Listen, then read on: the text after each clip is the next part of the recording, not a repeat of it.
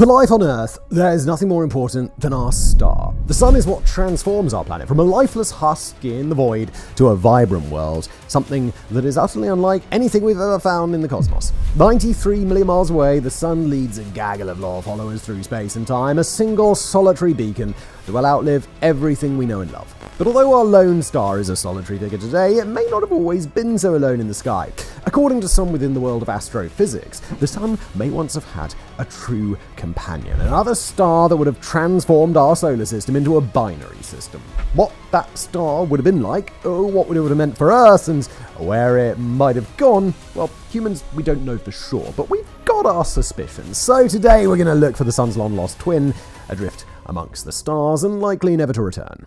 Here on Earth, we know our sun fairly well. It's a burning ball of incredibly hot gas and plasma, sustaining a gargantuan nuclear fusion reaction and occasionally belching out bursts of cosmic radiation that come our way. All of that's pretty standard for a star, and in fact, our star is pretty standard in just about every way except for one. The fact that our sun is not in a binary star system is actually about the most unusual thing about it, except, of course, the life forms on its funny little third planet. According to the Australia Telescope National Facility, some 85 95% of all stars exist in what are called multi-star systems. Most commonly, those stars are part of a binary system, one where two stars are locked together in a mutual orbit around a common center of gravity. Some systems have even got three stars in a triple orbit, and technically systems with four, five, six, or even more stars all in alignment are possible. Nor do those 85% of stars account for all the things that stars are in binary systems. In addition to regular stars like our Sun, stars can be locked into orbit with a companion neutron star, a companion companion white dwarf, or even a companion black hole. For our sun to be out on its own, it's profoundly atypical,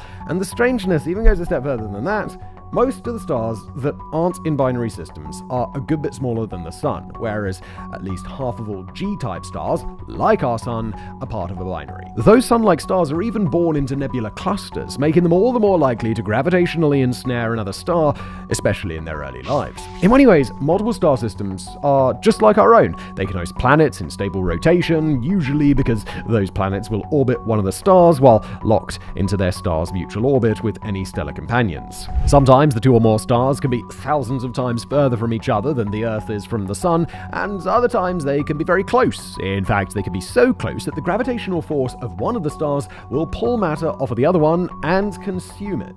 Some stars are even so close that their gaseous outer layers overlap, usually just before they merge into a single star. Some planets in binary systems can loop between both stars in figure eights, while others might orbit a wide outer perimeter that loops around both of them. Still others are only in their system for a limited time until a gravitational asynchronicity between the planet and uh, one of its host stars causes the planet to be flung out into the cosmos. While astrophysicists are still divided on whether life could be possible inside such a system, there are certainly good arguments that planets orbiting just one of their system stars could host life, and that any planet with a hard outer icy shell and an inner ocean could be the home planet of some alien beings. The idea that the Sun might be part of a binary system is not a new one. That possibility has been thoroughly explored during humanity's search for the source of the gravitational anomaly that explains the strange orbit of many trans-Neptunian objects out in the far reaches of the solar system.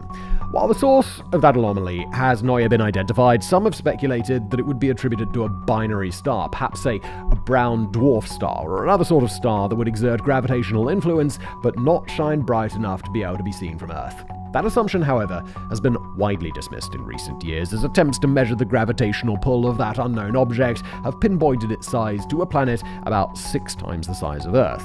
Or it could be a tiny black hole, we mean really tiny, about the size of a grapefruit, but that's not terribly likely. The point is, the Sun is not currently a member of a binary or multiple star system, at least so far as we can tell. But according to one scientific study published in 2020 by Dr. Avi Loeb and Amir Siraj of Harvard University, that might not always have been the case. The study by Loeb and Siraj focused on the Oort cloud, the giant spherical shell of matter that exists in the far fringes of our solar system.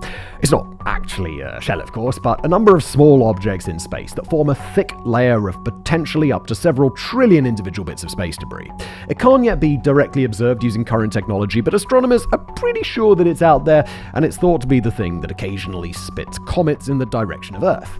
But even if it really is out there, as theorized, astronomers have very little concrete evidence of how it got there. The leading assumption is that the Oort cloud might be all the leftover matter that didn't get swept into planets during the long process in which Earth, the other planets, their moons, and other structures like the asteroid belt eventually formed. Then they would have uh, been sort of nudged out of the solar system by the gravitational influence of each successive passing planet, eventually pushing them all the way out to trans-Neptunian space where nothing else could act upon them. But the models that astronomers have used to show how that process might have worked tend to run into a bit of a consistent problem. They don't accurately predict the relationship between the Oort cloud and another belt of trans-Neptunian objects, the scattered disk. In the scattered disk, objects are close enough to Neptune's orbit that Neptune can act on them gravitationally. That is to say, they're significantly closer to the Sun than anything in the Oort cloud could be.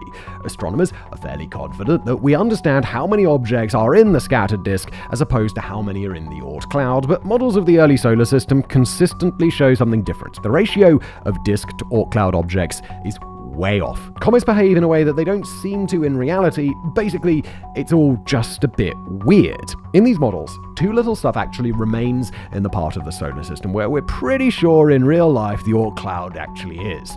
But introduce a binary star into the models at this early stage of the solar system's development, and everything starts to make a whole lot more sense. Binary systems are far better at retaining objects in their gravitational pull than single stars, because each star acts as a sort of herding influence over the other. If we imagine the rotating pattern of a pair of binary stars going slowly around each other, it might not be obvious at first, but try imagining it, not looking at the binary system as a whole, but by using the position of one of the stars as an anchor point. With planets orbiting that star, slowly pushing small objects out toward open space, those objects might keep traveling forever. But if another star, a massive gravitational mass, is lurking out there on the far fringes, it's a different story. Some of these objects would be ensnared by the star's gravity and consumed. Others would travel outward at a time when the star is halfway across the solar system and would move out into the void anyhow. But still others would be nudged by that star's gravity rather than ensnared by it, with their outward velocity dampened, so to speak, and with their direction changed to something more akin to a long, loose orbit around the sun. Still others, on track to be jettisoned out of the solar system, might come into gravitational interaction with a binary star at just the right time to be slingshotted back around, perhaps heading back into the planetary region of the solar system, or perhaps uh, remaining way out there in the void. Over the course of hundreds of millions of years, a binary companion to the Sun could have changed enough orbits of enough trans-Neptune objects to form an Oort cloud, and the models that rest on that assumption tend to look a whole lot more like the Oort cloud that we believe our Sun has. And if such a binary star ever was a companion to our Sun, it would offer explanations to a range of other open questions about the early solar system. For one thing, a binary companion to our Sun might be responsible for our very existence. A star like that, slingshotting icy celestial bodies back in the direction of the Sun, could have delivered the comets that we believe to be responsible for water on Earth, and likely past water on Mars and Venus. It offers an interesting perspective on our solar system's suspected ninth planet, since Loeb and Siraj's models indicated that the presence of a binary accomplice to the Sun makes it more likely that such a large object would end up orbiting far from Earth, especially on an elliptical orbit.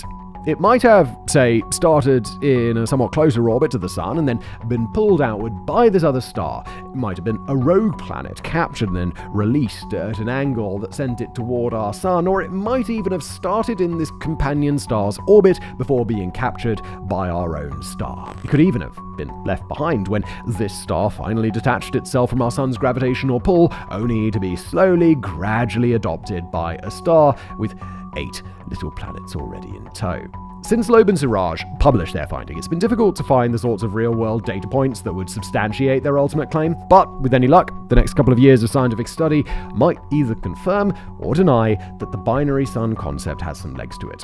That data will come courtesy of the Vera C. Rubin Observatory, scheduled to first open its Great Telescopic Eye in Chile in January of 2025. The observatory is going to do a lot, but one of its many tasks will be to map small objects at the far edges of the solar system, probably increasing the number of total catalogue objects by orders of magnitude. If the observatory can identify not just a ninth planet, but indicators that Planet 9 was at one point brought or captured into its current orbit, plus a set of similarly captured dwarf planets, then that will indicate that the binary sun interpretation of our solar system might be more valid than that of single star origin. It won't be cold, hard proof by any stretch, but it'll be a very strong sign that somewhere out there in the Milky Way, the sun as an old friend. If such a star did orbit in a binary system with our Sun, then there's one ultimate question that we simply can't avoid asking.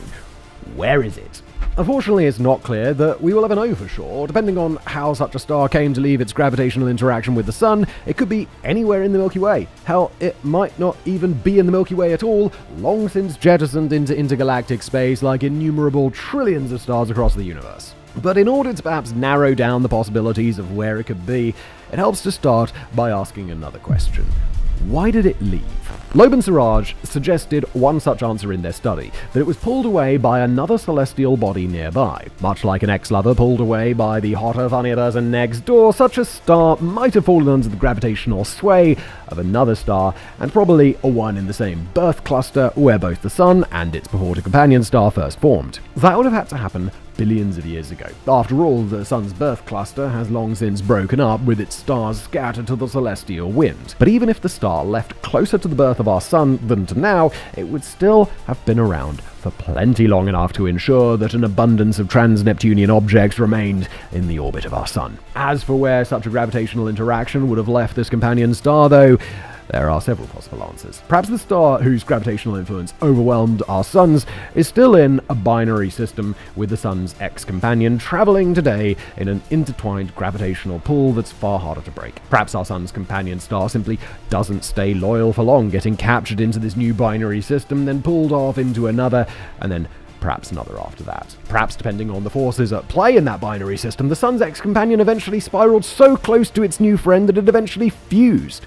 Or perhaps the two stars simply wrenched against each other in a gravitational heave that was strong enough to get this star away from the sun, but not enough to pull it into a new orbit. In that case, depending on its escape trajectory and velocity, it really could be anywhere, floating around a few star systems away, or halfway across the galaxy by now, or hurled into a red giant or a black hole, or just about anything else. It's a big, scary cosmos out there, and adrift without a friend Anything might have happened to it. But even despite the incredible range of potential fates that might have befallen the Sun's stellar companion, we here on Earth still have a guess as to which star it may have been. To be more specific, uh, we've actually got four guesses, each proffered by a large team of researchers in a study published in 2018. That study, led by the Armenian astrophysicist Vardan Adibekyan, searched the solar system for so-called solar siblings, stars that might have come from the same birth cluster as the Sun. Out of a sample pool of a full 17,000 stars in relatively close vicinity to our Sun, the study narrowed down candidates based on the relative abundance of various heavy elements, that is, elements not hydrogen and helium, and their similarity to that of our star. Then their chemical composition was examined more fully, and then all of those stars whose stellar ages didn't make sense compared to ours were ruled out.